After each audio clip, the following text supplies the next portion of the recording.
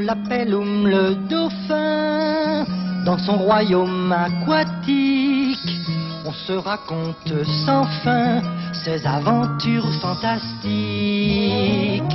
Il a le poil blanc comme l'hermine, des yeux bleus qui s'illuminent.